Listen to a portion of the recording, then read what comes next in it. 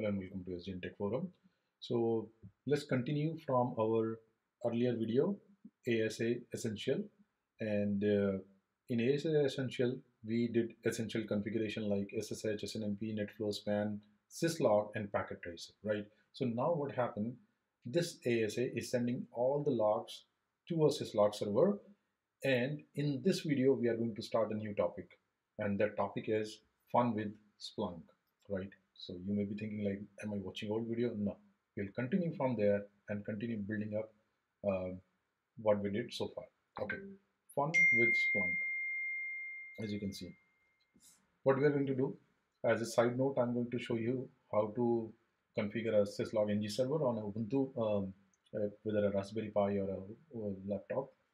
And then we will start with Splunk. So what I'm going to do, I'm going to install a Splunk server. I'm going to use a free trial version. Uh, I'll install it on a Windows machine. All right. Then we will have a Splunk Universal Forwarder, which is a small uh, um, CPU. I, I, mean, it's not very resource intensive. It's a lightweight agent sitting on um, on the on the places where you have the data, right? The data which you want to input to the Splunk server so that you can index it, crunch it, and visualize it. Uh, so this universal forwarders, they will be sitting on the sources where we have, we have our data storage, and which is generally a Linux machine or Windows. then we will, uh, I'll show you how to uh, input data from forwarder. So what rules you need to create. And then finally, we'll come back to the Splunk dashboard again and see if we can manage the forwarder uh, status and, and also we can crunch that data, index that data, search that data, all those things. So this is not going to be very uh, Splunk uh, intensive video, but a lightweight, good for you to get started. Okay, and, and at the same time, finally, I'll give you some forward forwarder troubleshooting tips because many a times forwarders, uh, once you set up the channel, after some time you may see that forwarder is not sending data. So how to troubleshoot that? I'll show you that. Okay. So quickly, let's first review the syslog ng server configuration requirement. Okay, so this is for a Linux Ubuntu machine. So what you have to do, you have to make uh, get apt-get install syslog ng, and then uh, basically that will install the syslog ng server, and then validate if you can, if it is listening to port number 514. Okay, you can also watch. Uh, validate the status by using sudo services status syslog ng. So syslog ng daemon, daemon is started. It's listening on port number 514. Now what we have to do, we already did that. Actually, ASA is sending uh, syslogs to port number 514 or to this server. All right, so I'll show you that. And then we will talk about how to do universal forwarder config. But let's first validate syslog uh, ng server. okay, so this is our ASA. mind it this is going to be a little demo intensive video, so please try to follow along with me. Okay. As you can see, ASA is sending syslogs to 192.168.1.22 and that is our Ubuntu server. Okay. I'm going to show you uh, IP address IP address is 192.1 in this and let's do netstat.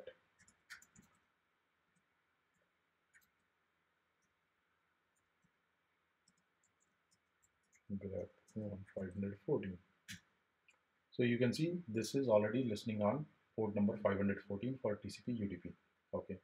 And receiving all the syslog data. Okay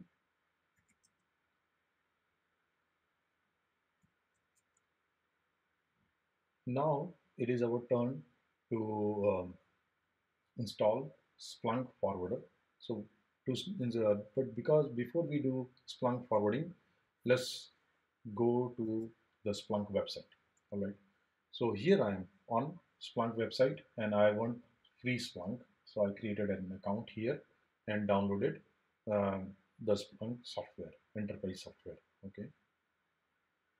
Uh, not the cloud one, the Splunk 8.5, uh, which is the current software. You can say free Splunk and you can download. I already downloaded it, so I'm not going to download it again. As you can see, this is a 60-day free trial for Splunk Enterprise. This is what I downloaded and installed on a Windows machine. Okay. So here is your main Splunk dashboard. What we are going to do, we are going to do a couple of things. Uh, first is we are going to make this server listen for data stream, right? You can have you you can multiple ways you can add data. Like here, if you click click on add data, there are multiple options. I'm gonna skip the tour. You can do networking, you can do OS and upload. You can actually upload the data. So if you have like a, um, a compressed file, CSV file, you can actually upload. But that's not very scalable way, right? We want a data to be like continuously sent as a stream and then Splunk to do all those indexing and so that we can run our searches. So for that, what you have to do, you have to prepare your Splunk to listen on certain ports and that is called uh, receiving here, okay, forwarding and receiving. Configure receiving, okay. We don't want to configure forwarding here because we will be using forwarding agents only thing is I want this Splunk server to listen on certain port and that is port number 9997 and that's the default port for Splunk so I kept it default. Okay. that's all you want to do here. Now since this uh, this server is listening on the designated port so now it is our turn to configure the universal forwarder. And for that what you have to do you have to download the forwarder okay and I'll show you from where to download the forwarder. So you can do sudo wget and the wget IP uh, uh, this path so that it will down get downloaded to your machine. And then what you can do is you can copy that forwarder what you downloaded to a third party directory or a third party software directory which is slash opt cd uh, cp and then the whatever you downloaded copy it to slash opt then go to that directory cdo slash opt and do a sudo, uh, uh, sudo dpackage, which is like a package manager for Ubuntu, right? And this is what you have to do. You may need in curl uh, because it is running some background curl checks. So make sure you have the curl uh, utility installed. And if not, then you have to do dpkg reconfigure again. Okay, once you do that, it will install the software now finally yeah what you can do you can see when you do a list uh, uh, directories you can see there is a directory created called Splunk forwarder go to Splunk forwarder. Under that go to bin directory and that is the directory where you can start stop restart your Splunk instance universal forwarder instance. So we are going to go to cd uh, bin and say sudo splunk start and make sure you accept the license uh, from command line like this. Otherwise it will have uh, you you will have to like read the entire license by pressing uh, page up page, uh, page down. And finally you can validate the Splunk status check. All right. So I'm going to show you all this uh, on the forward itself. So let's go. As you can see it is uh, I downloaded this forwarder here and then parked it to OPT here you can see Splunk forwarder is there under the Splunk forwarder. We have lot of directories, right? Uh, all the configuration related, local configuration related things are stored in etc, uh, just like any Ubuntu Linux system. But this is only for Splunk related files, all right? But right now we are interested in checking the status. So what you can do, you can just go to bin directory and then do a sudo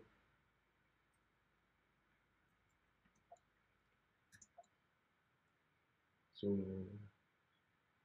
Splunk status. You when you install it will ask you to create a username and password and that's the uh, but this is the sudo username password. Okay Splunk command not found. Okay wd I am not in the correct file. Okay that is the reason. So let me start over. I'm going to say cd slash opt slash splunk bin that's it. And then Splunk status. Okay Splunk is running. So my universal forwarder is properly installed right? As I, I was telling you that there are all the configuration files are stored in etc so let's quickly revisit the ST um, go to system or maybe just list everything here and see all the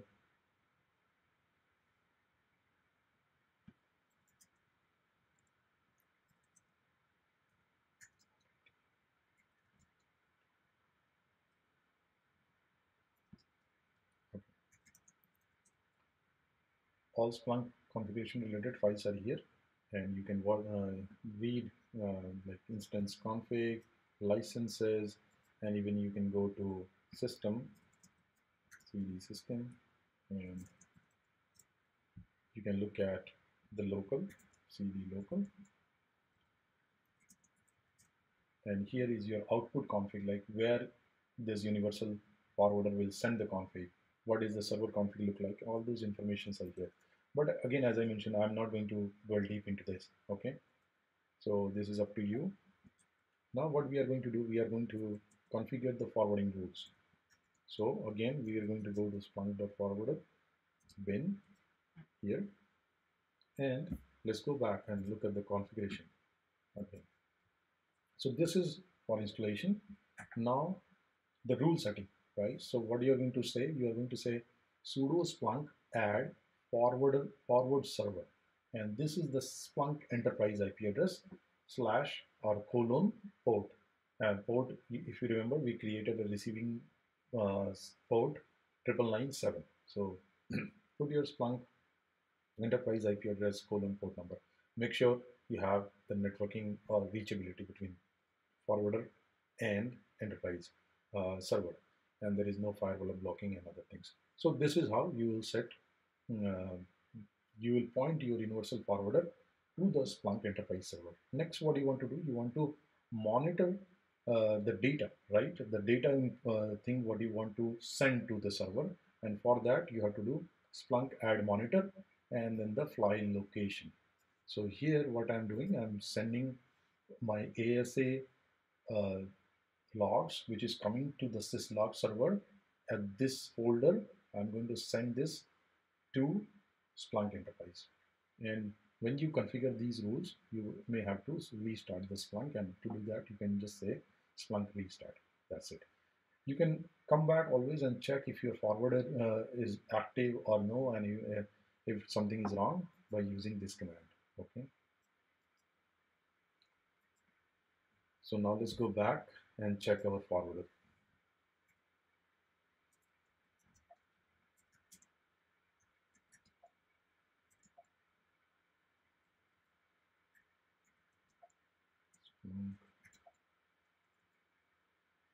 Mm, look at the command list forwarder. Okay, you can always do help.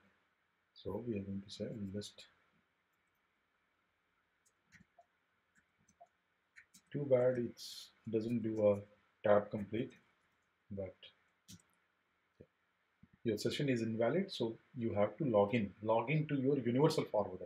Okay. So this is the login you will create username and password you will create while installing the universal forwarder not your enterprise uh, Splunk uh, username password.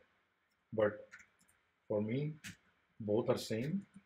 I reuse the username password and here you can see after putting the credentials, I can see this is my active forwarder, what I configured uh, uh, using port number and is there any inactive forwarder? No. So we are good. So this is how you are going to create the forwarder. And now let's validate if this data is showing up or if this forwarder is showing up in Splunk Enterprise or not. And for that, what you can do, you can go to dashboard. Your dashboard may be empty, okay? So what you can do, you can create a dashboard. Uh, okay, let's go back to search first, okay?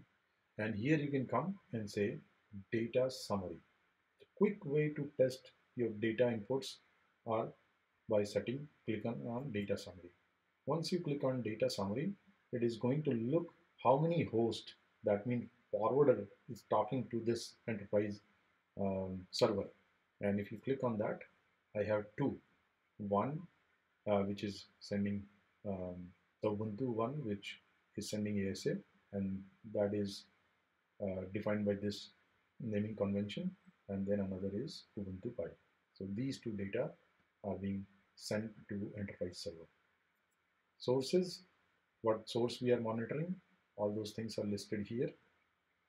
Okay, and source type, it automatically try to classify by reading the files by some existing rules and say these are the source type.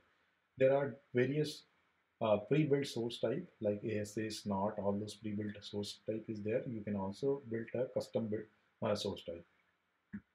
Okay, so let's look at the host and try to load this. Okay, so here you can see all my var log firewall, the place which we are monitoring on syslog ng server. All those logs started showing here. Okay, so and based on these logs here it has created some selected field. You can select those field and create create a new search query. Right now it is just searching on the host name. And you can see all those events nicely popping getting populated here. You can go back in timeline 24 hour 30 minute 5 minute uh, everything you can see. You can create your own search pattern and you can also do some visualization and at the same time you can create a table view. So so different ways of like uh, visualization table format bar chart format and all those things. But the nice cool thing about splunk uh, which need a little bit of um, uh, education about splunk processing language spl so that you can actually use these logs to create your search query or create a pattern so that you can present these logs in a meaningful way. And that's the end goal, right? Right now in today's video, I'm just going to uh, make you making you familiar with Splunk distributed model, what is universal forwarder, what is the enterprise, and how you can bring uh, your logs here. But you can do much more uh, by learning a few uh, tricks in the SPL language. Okay what else I want to show you? I want to show you, if you can go to the home page, Splunk. Here I created the forwarder instance. So it's a snapshot. When I come to the home page, it quickly give me a snapshot of my forwarders, like uh, who are, which are the forwarders available and how their data pattern looks like. So as I mentioned, I have two of them and I can load them here. I can uh, watch their data patterns and I can also click uh, on any of these and see which who who's my receiver. So this uh, Windows machine itself is a receiver. Uh, so this is a cool thing to monitor your forwarder if they are sending you data in the real time or not. Finally if you want to uh, know something about the Splunk utilization or the enterprise utilization itself so what you can do you can always go to monitoring console and see your how your enterprise server uh, is doing resource wise right? Now so basically these are the license uses disk uses cpu uses and all those things for enterprise server. That means how the server uh, instance installation is doing health wise is there any memory uh, pressure? Is there any cpu pressure? Are we hitting any uh, license or disk or throughput uh, indexing indexing rate threshold all those things you can manage from here all right but mostly why you come here if you are not a Splunk administrator you will come here to parse log for your application and for that uh, mostly you want to create some search and reporting create some search uh, cool search indexes so that you can find a hay um, a needle in the haystack right? So with that I'm going to stop this video and uh, I'm, I'll continue learning Splunk and I hope you will find it interesting also. So let's continue this journey. Thank you.